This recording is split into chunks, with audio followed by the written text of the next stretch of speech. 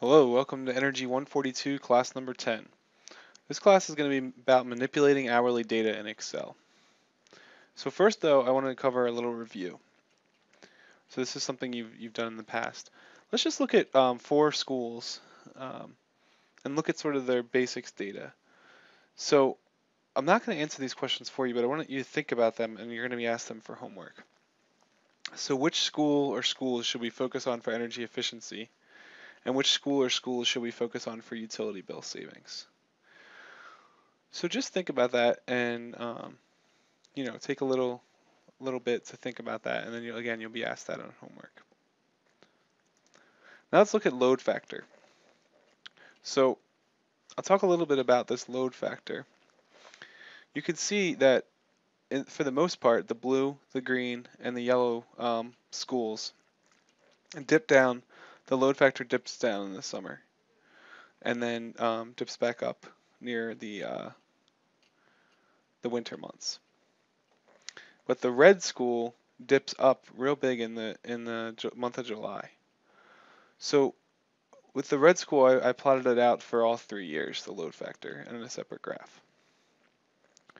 So this is something we really want to take a look at when we have an anomaly like this, and this is why we do energy accounting, to see anomalies like this. So what was happening in this when when the school was 70% load factor?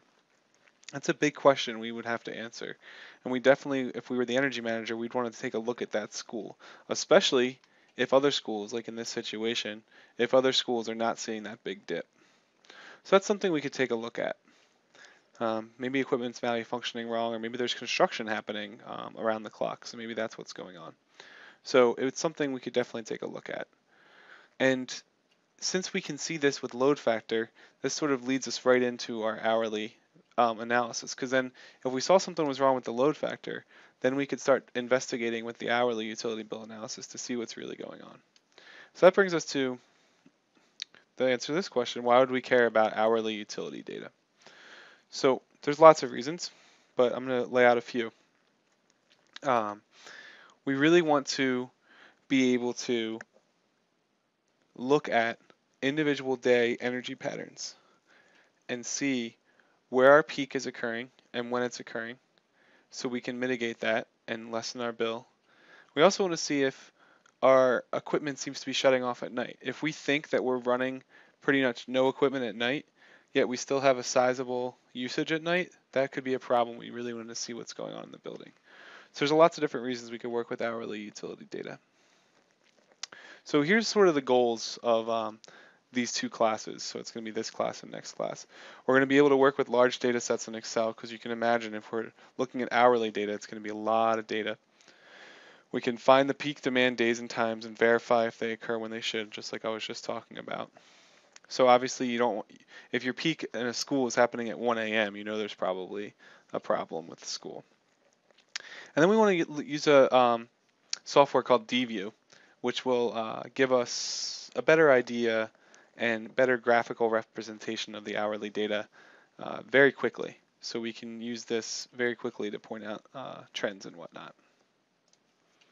So today we're really going to be focusing on being able to work with large data sets in Excel. Um, and you'll see that it's sort of what you get from utilities is not easy to work with. And we're going to learn how to work with it in Excel. So so let's look at an example of one of these large data sets. So I've blacked out the account number um, just so it's not shown. And if we open up your utility hourly utility data, that's going to be on Blackboard under the learning materials and under some a folder called utility data or, or something to that effect. And then it's either hourly or interval data. So look for your school there and you can download your hourly data there. So we can see we have a lot of information here. And these triple dots say it goes off in both directions in Excel. But let's look just, so this is January 1st, 2011, and it's kilowatt hour. And it turns out in this case, it's every 15 minutes interval data is recorded. So it's not hourly, it's 15 minute data in this case. And so that's the time. So this is going to go on until, you know, until you reach uh, full 24 hours. So just for January 1st, we have all this all this data. We have kilowatt hours, power factor, and kvar h. So in this class, we're not going to worry too much about power factor and kvar h. This gets into um, larger when you have industrial facilities or very large commercial facilities. They get into play, but we're not going to worry too much about it in this class. Uh, you might learn about that a little later. So really what we're worried about is kilowatt hour.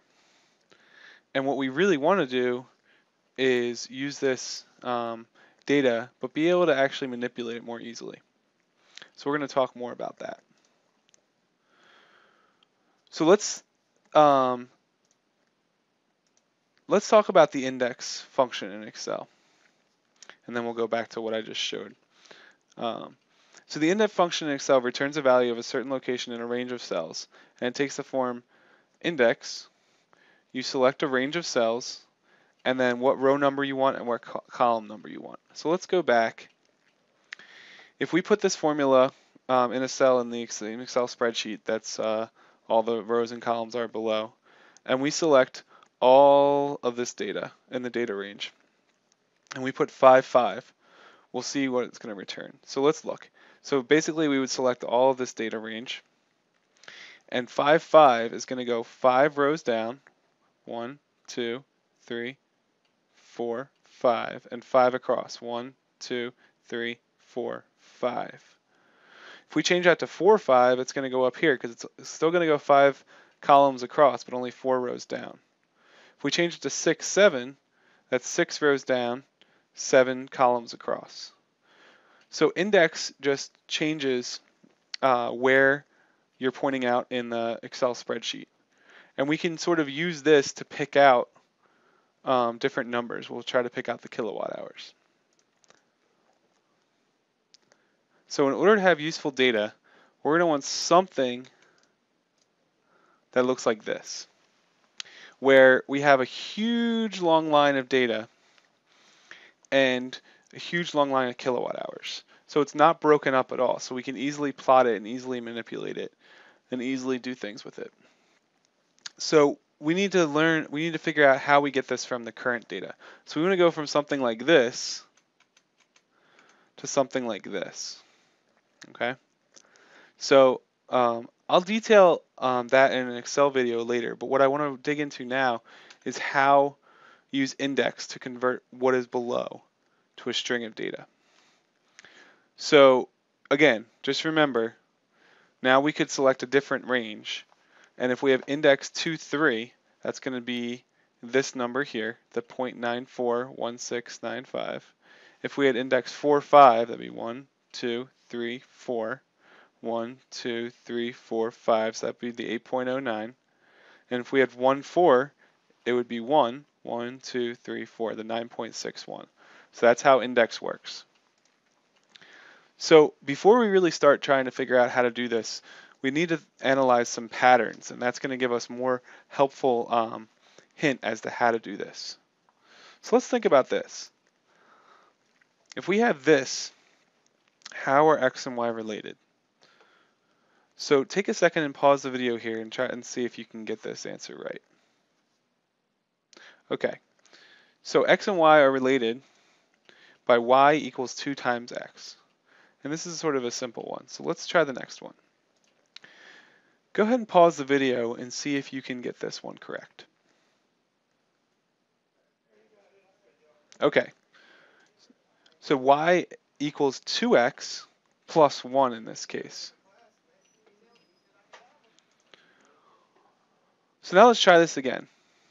Go ahead and pause the video and see if you can get this pattern. In this case, y equals 3x minus 1. All right, last one. Try to get this one. Y equals 10x plus 5. So what we're going to do, in, and I'll go over this in the video, is we're going to try to figure out a pattern that's going to be needed for um, the row number here and the column number here to just pick out the kilowatt hours. So it's not going to be an easy task. So I'll have an Excel video um, as the next video in the series to go over the solution.